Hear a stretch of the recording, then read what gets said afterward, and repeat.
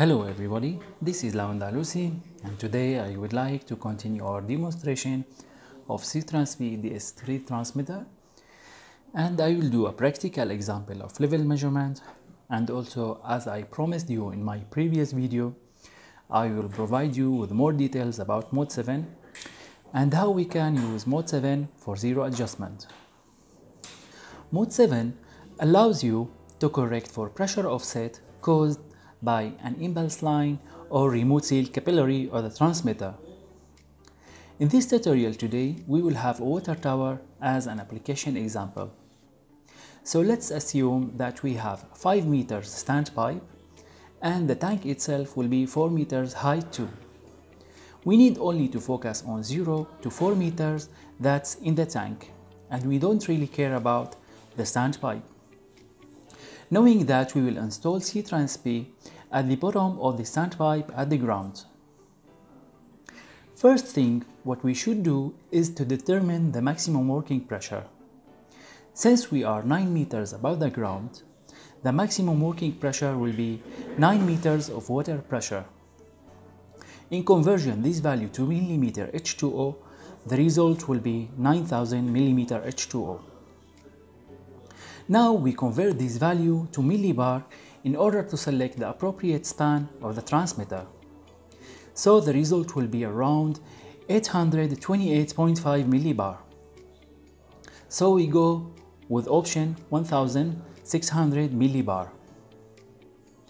Now we can go to mode 5 and when the tank is empty, we know there will be 5 meters of water pressure acting on the transmitter. So we come into mode 5 and set up 5000 mm H2O as a start of scale. Then we move to mode 6. In mode 6, we know it will be 9 meters of water acting on the transmitter from the ground level. So we set mode 6 at 9000 mm H2O.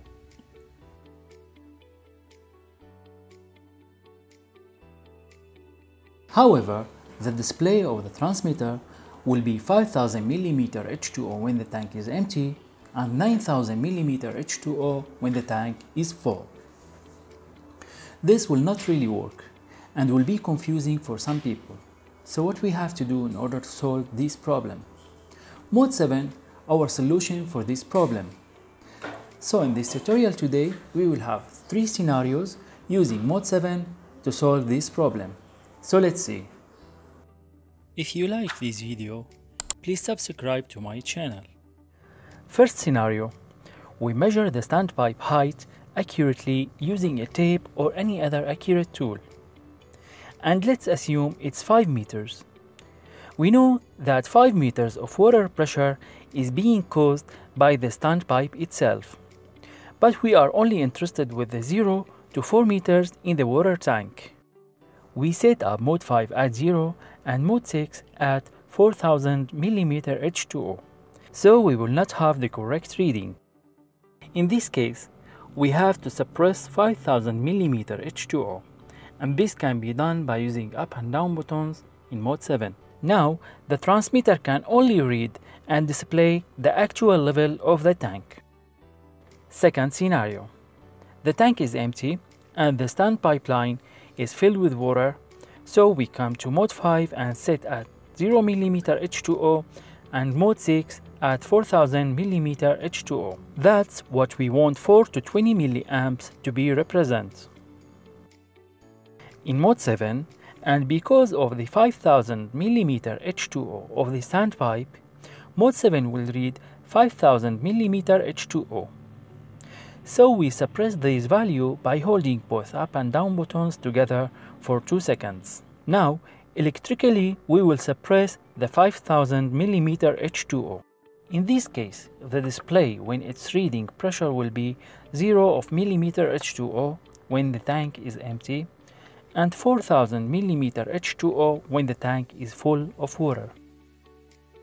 Last scenario, we know that we have 1000 mm H2O of water pressure at the moment inside the tank by using a dipstick or other tools.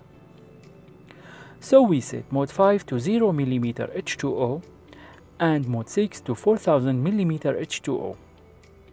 Then we come into mode 7 and mode 7 is reading 6000 mm H2O.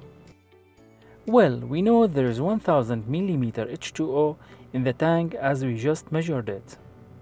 So we force display in mode 7 to read 6000 millimeter H2O using up and down buttons. Now we have suppressed the 5000 millimeter H2O that we know is in the standpipe. And what we have left is 1000 millimeter H2O we have in the tank itself. Thank you so much for watching and have a nice day.